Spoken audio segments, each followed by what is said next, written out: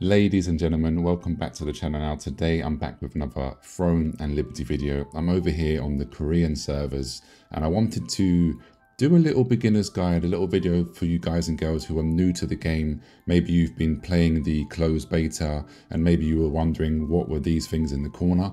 These are Abyssal Contract Tokens. Now, the reason that you need these is as you can see here, they can be used in Abyssal Contract Dungeons to acquire XP and Sollant bonuses from the monsters and find that dungeon only drops. So basically, what does that mean?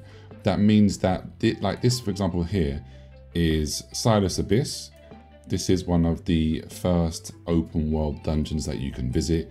And I mean, just look at this. Look how amazing this looks, right? Um, somebody's actually just turned, they've just used the the rain ability. That's another cool feature. But anyway, during the day, you can come into this location here. You can come in solo, um, or you can come in with your guild. You can come in with a you know a party. And what you do is you just simply come in here, you grind, you kill the mobs. There's elites, there's little bosses in here. And as long as you have those 20,000 tokens, as you can see in the corner on the top right, you're able to get drops, gold, and XP. So you just come in here, just simply do what I'm doing here. Just go ahead, kill these things here. And as you can see on, um, as you can see here on the screen, sorry, there is many, many, many mobs to fight. Different types of mobs, harder mobs, weaker mobs, you, you name it. But as you can see, I've just gotten some gold. I've got, the XP you get is tiny. You don't get, you know, you don't get any XP really. So you can't come in here don't think you can come in here to farm to like level up. You come in here specifically for drops and for gold and um, and to have obviously oh and weapon mastery. Weapon mastery is another big reason to come here. So if you click on your weapon, um, you can see here you have weapon mastery. So you want to come and grind these dungeons to get gold, the weapon mastery XP, and of course rare dungeon drops. Now there is many of these um, and they have introduced these uh, contracts now. Uh, so you can see here, this is for the Sodoma Island. This is for this one that I'm in now, Silas Abyss. There's one for Shadow Crypt. There's one for Sanctum of Desire. So what I'm going to do is I'm going to go ahead and just show you guys and girls a few of these open world dungeons. So let's click on that. I'm going to first of all teleport over to here Sanctum of Desire because this one is really, really, really interesting. The reason why it's interesting is because you cannot enter this one unless it's raining. So you can see here, it's raining. This is why that player, the high rank player that has the um, rain ability, they used it to open the doors because you cannot enter here without without that. Now this place is a high dungeon. The mobs here are hard. They're, you know, max level mobs basically. Um, so don't come in here solo. As you can see, look, the, the damage that you're doing is very, very, very low. Depending on your build, of course.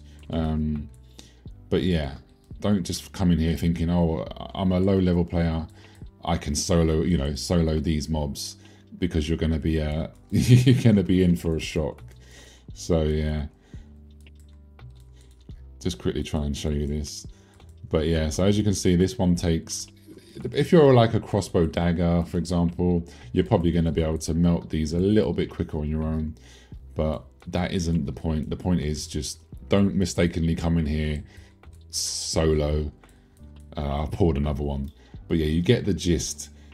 This place is amazing. Only enter here if it's raining. If it turns into nighttime, um, PvP is enabled and these doors will shut.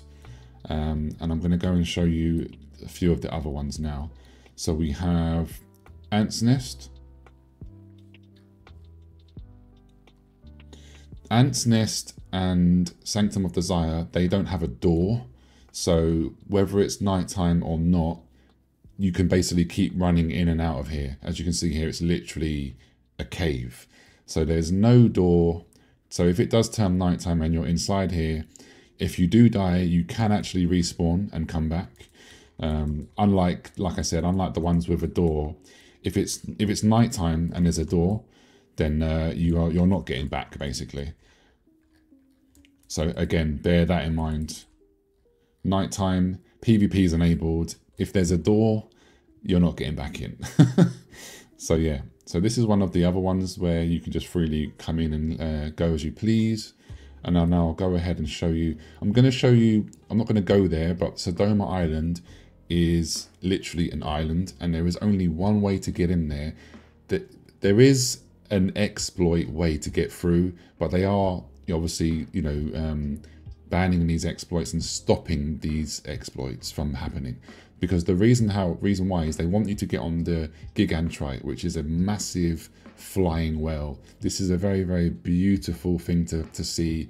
It, it comes every couple of hours, every three hours to be exact, um, and it will spawn on the on the um, on the map you have to go to a high location and fly onto it. And then you just you just take a long ride. It does take a while. It takes 15 to 20 minutes um, but it is a beautiful sight to see. So you must do it. If you're new to the game if you're watching this um, in the future and the game has already come out in global it's just released then make sure you do this guys and girls. But yeah this is a, another open world dungeon. For this one there is no door. So but the, like i said there is only a certain way to get on the island. So if you're on there and you die, you're not really going to bother going all the way back. Now, another one, which is always open, uh, Shadow Crypt. Another really, really cool dungeon.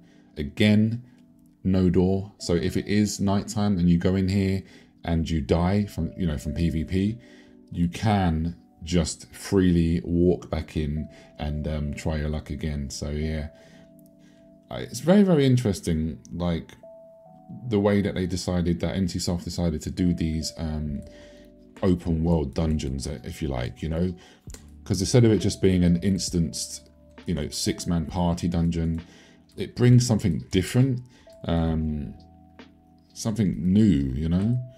And the fact that you can farm these with your friends, solo, on your own, it really does not matter. I think, I think personally, it's pretty cool. So yeah. Let's go ahead and kill that guy. But yeah, so you can see here, getting lots of gold, getting minimal XP. But yeah, you can see lots of enemies around, lots of mobs to kill and try and get some decent drops from. And yeah, there is going to be one more. I'm going to take you guys and girls to one more. Um, so just so you can see it before it turns to nighttime.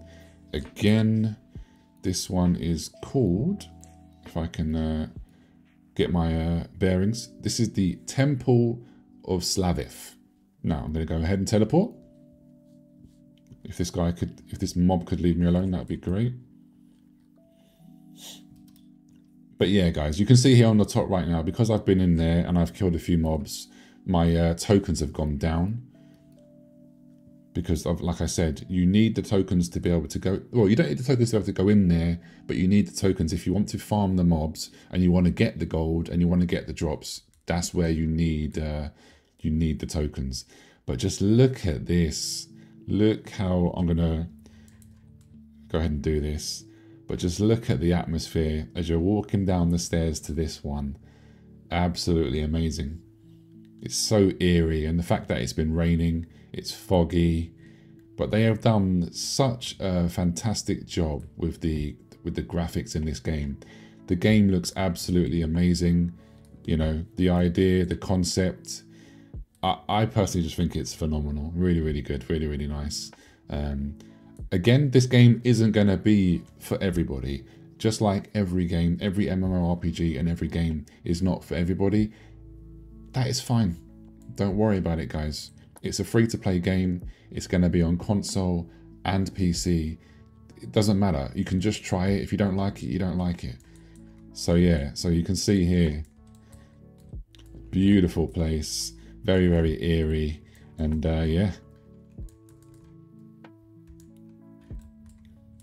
there we have it. Very, very, very cool, right?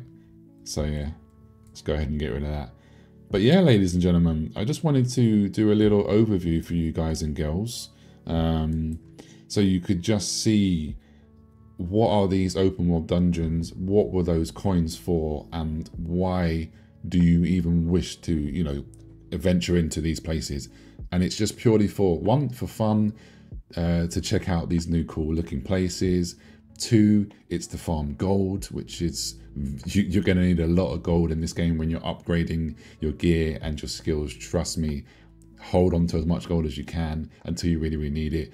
And three, you do have a chance of dropping specific dungeon drops where you can obviously either use them for yourself or you can go ahead and sell it on the marketplace and uh, hopefully sell it for some good lucent. So yeah, that's going to be it, ladies and gentlemen. Hope you've enjoyed this one. Like I said, just a very basic like beginner's guide on the open world dungeons. Got plenty more beginner's guide videos coming out very, very, very soon. So take care, like, comment, and subscribe, and I'll see you soon. Peace.